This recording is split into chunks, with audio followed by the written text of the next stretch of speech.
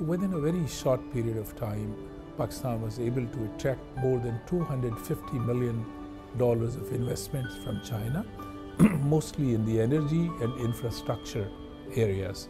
So uh, before the uh, launching of CPEC or BRI, uh, Pakistan has very serious energy shortage. We have no electricity for more than 12 to 18 hours in a day, even in big cities.